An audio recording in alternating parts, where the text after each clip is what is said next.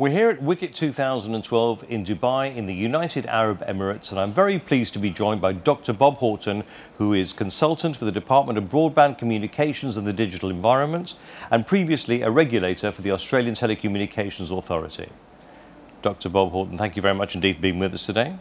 Thank you. Great pleasure to be here. I'd like to start off by talking about the last conference in 1988, 24 years ago, which was called WATC or WATTC, uh, which uh, was held in Melbourne.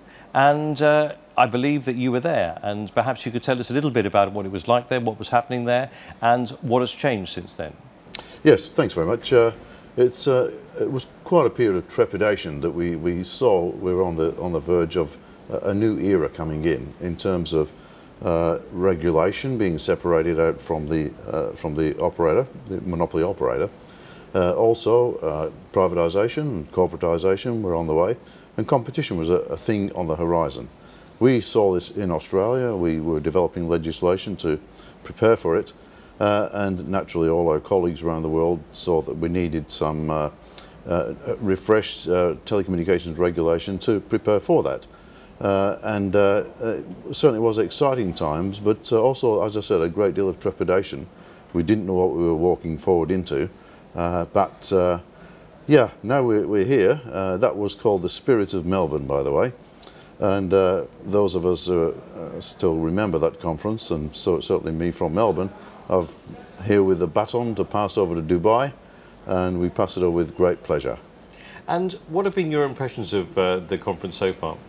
At the moment, we're still skirting around uh, on a lot of the important issues, uh, and that normally occurs in international treaty uh, uh discussions, uh, and in particular, ITU is no, no different from any of that.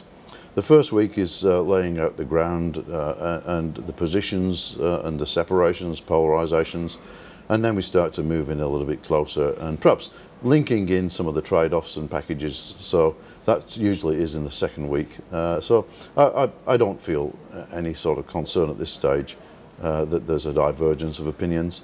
People have been working on this for 24 years, so uh, we can't expect too much in the first week. But we are making progress. What are the major issues being looked at here? Well, uh, I'd categorise them probably four or five issues. Of course, the, the internet has received a lot of publicity uh, and uh, we need to isolate what it is that the ITU can do uh, for the internet world. The internet is not telecommunications and telecommunications is not the internet.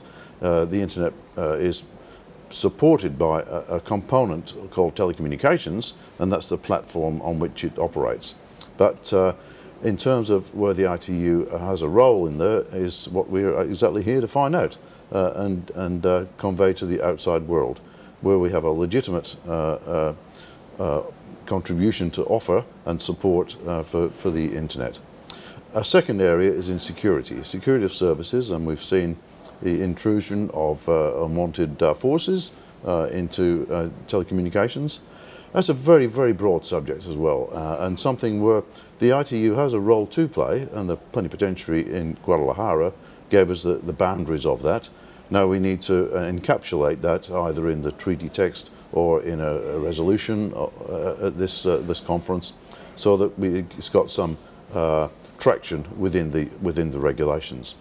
Other areas that we need to help with is definitional sense of operating agencies or recognised operating agencies, just what we call our players in the industry, without capturing them into uh, a regulatory net, because some of them are not intended to be, be caught. Defence networks is an example, some private networks. Uh, so we don't want to be overly obtrusive uh, uh or intrusive with regulatory measures in a market that is developing uh, remarkably uh, with free market forces. Another area is we recognise too that some countries still require the old set of rules for charging and accounting. Others uh, depend on more, more uh, uh, commercial relationships and, and, and uh, contracts. So that is the trend to, in, in, a competitive market. But we need to preserve some of the old with some of the new. Uh, and that's the transition we're in. And that's where this conference finds itself in a period of transition from the old ways of old administrations negotiating with each other to new ways of where the market forces take over uh, in a fair way, and we can back off with the regulatory uh, overhang with that. But we need to preserve those two tracks, uh, two almost like two highways, uh, so that we we have a set of rules that can still be used if they're needed uh, between uh, monopoly organisations or state-owned enterprises and new commercial agreement packages. And somewhere, some countries will transfer across to the other, uh, and there'll be hybrid arrangements as well. That's the difficulty that we have, uh, accommodating both. And that's uh, something we have to uh, find the compromise uh, and offer something for both parties. And I think that's where a lot of the tension is. And what do you see as some of the likely outcomes of this conference? Well, I, I would hope that uh, we can say to the rest of the world, we have a role to play in whatever you do, in the services that you provide, the future competitive service providers. and uh, this is the limits to what we can we can assist with uh, and please don't feel as uh, trying to take over your patch because there's enough work for us to do in, in ensuring the uh, compatibility, the, the connect, connectability of, of, services and accessibility.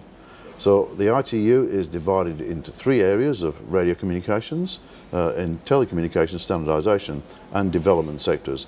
And each of those areas has, well, in, in, uh, in radio communications, collaboration on a global basis, so we have a, a limited resource to play with. But importantly, in telecommunications, we, we've got cooperation.